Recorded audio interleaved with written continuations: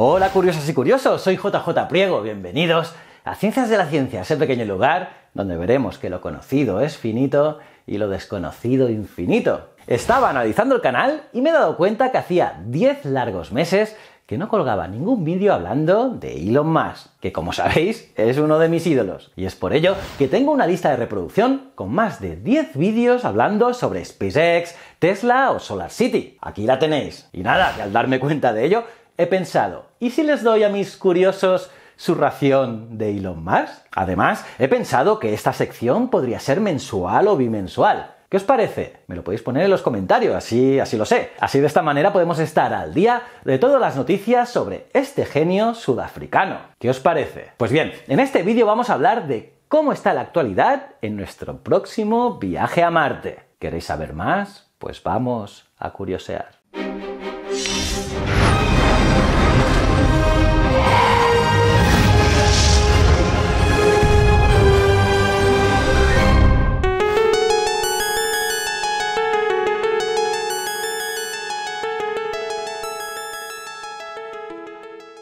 Sí chicos, parece que el camino de la humanidad hacia Marte está cada vez más cerca. Y es que SpaceX ha construido el primer prototipo de la nave diseñada para hacer realidad el sueño de Elon Musk, convertir la raza humana en una especie interplanetaria. El nuevo cohete de SpaceX, cuyo diseño ha sido comparado con la nave ficticia Planet Express de la serie Futurama está construido en acero inoxidable y brilla reluciente e impecable bajo el sol tejano, o al menos era así hasta que hace unos días una fuerte tormenta le dañara parcialmente, según explicó Musk en Twitter, causando desperfectos que necesitarán algunas semanas de trabajo. Pero bien, este cohete se trata del primer modelo de cómo será el vehículo conocido como BFR, diseñado para hacer realidad la nueva aventura espacial de Elon Musk, después de los éxitos cosechados por sus lanzadores Falcon 9 y Falcon Heavy. El BFR se anunció formalmente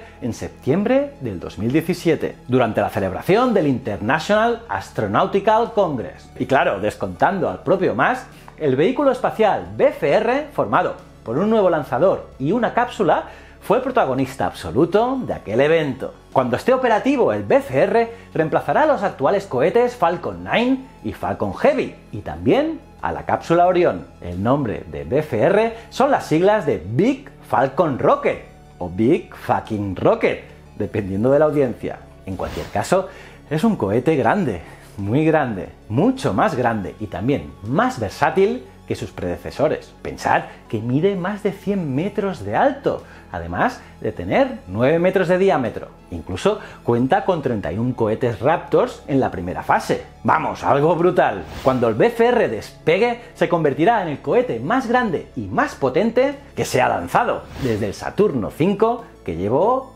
el hombre a la Luna. Por su potencia y dimensiones, el BFR puede servir como lanzador interplanetario. Y claro está, con Marte como objetivo preferido. Pero también, este cohete puede servir como lanzador suborbital y hasta como vehículo intercontinental. Sí, sí, lo que oís. En lo que se refiere al modo vehículo comercial, el BFR puede lanzar al espacio hasta 150 toneladas, más del doble de la capacidad que tiene el más grande de los cohetes Falcon actuales. En cambio, en modo vehículo de pasajeros, puede llevar una tripulación de astronautas a la Luna o a Marte. O también, y por qué no, a decenas de pasajeros de un punto a otro del planeta, de la Tierra, en solo unos minutos. Porque como posibilidad adicional, el BFR podría viajar en órbita terrestre baja de un extremo a otro de la Tierra a 27.000 km por hora. Los tierraplanistas deben estar acojonados. Incluso Elon Musk dijo que si construyes una nave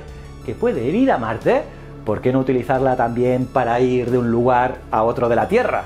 Pensad chicos que a esa velocidad, en la mayoría de los casos, los viajes durarían en torno a media hora, una hora como máximo. Como ejemplo, los 12.000 kilómetros que separan Nueva York de Shanghái. Una de las rutas comerciales más largas se recorrerían en menos de 40 minutos.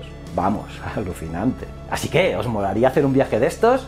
Ponedmelo en los comentarios. Pues bien, el plan de Elon Musk es poner dos naves de carga BFR en Marte a partir del año 2022, o sea, en solo tres añitos. Una primera nave llevaría víveres, mercancías y bienes con los que establecer una base marciana. Una segunda BFR llevaría tripulación y llegaría a Marte dos años después, es decir, en 2024 como muy pronto. Pero bien, tal y como explica Elon Musk en su manifiesto, el coste del billete espacial será un factor clave para la colonización de otros planetas. Y es que Musk afirma que una civilización no se puede sostener si el precio del billete es de 10.000 millones por persona. Pero si conseguimos que mudarse a Marte cueste el equivalente al promedio medio de una casa en los Estados Unidos, es decir, unos 200.000 dólares, él cree que las posibilidades de establecer en Marte una civilización son muy altas. De hecho, Musk está convencido de que esto ocurra. Y es que los 10.000 millones por billete a los que se refiere Musk se basan en la actualización del coste por persona lanzada atribuido al programa Apolo. En él, en el programa Apolo, fue de entre 100.000 y 200.000 millones de gasto por astronauta, considerando el coste total y el número de personas enviadas a la Luna, a su órbita y a la superficie. En su manifiesto, Elon Musk admite que no todo el mundo querrá ir a Marte. De hecho, probablemente una parte relativamente pequeñita de terrícolas quedarán ir, pero que esto solo será más que suficiente. Pensad que cualquier persona que ahorre y que tenga como objetivo ir a Marte podrá pagar el billete y mudarse al planeta. Y dado que en Marte hará falta mano de obra, a los colonos no les faltará trabajo. ¿Y vosotros? ¿Quién de vosotros apuntaría a mudarse a Marte? ¿Cómo os habéis quedado? Curiosas y curiosos. ¿Qué? ¿Qué os ha parecido este vídeo? ¿Os mola que haga vídeos más seguidos sobre Elon Musk? Me lo podéis poner en vuestras opiniones en los comentarios. Los leo todos. Y nada, si te ha gustado este vídeo, dale al me gusta. Y si es tu primera vez aquí en Ciencias de la Ciencia, dale este botón y suscríbete al canal. También a la campanita para estar al día de todas las novedades. Y para acabar, os recomiendo seguir mis otros dos canales, Historias de la Historia e Easy Promos TV. Estoy seguro que te gustarán. Y recuerda, el conocimiento es un requisito esencial para la supervivencia. Muchísimas gracias.